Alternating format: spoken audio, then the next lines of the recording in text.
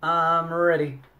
Okay, so the thing that I was talking about where you could strip these wires and then uh, accidentally break some of the wires, some of the strands in the that make up this, this bigger wire, that happened here, and you can actually see uh, maybe on the video there's some things coming out, uh, maybe if I put my hand behind it, um, that are coming out in different directions. So if that happens, then you can deal with it by twisting so I'm going to twist them all together so that they wrap around each other a little bit better.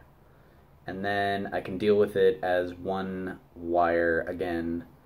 Um, let's see, that seems pretty good. Okay, so yeah, that's how you deal with uh, if you do break your wire. Break your stranded wire, that is.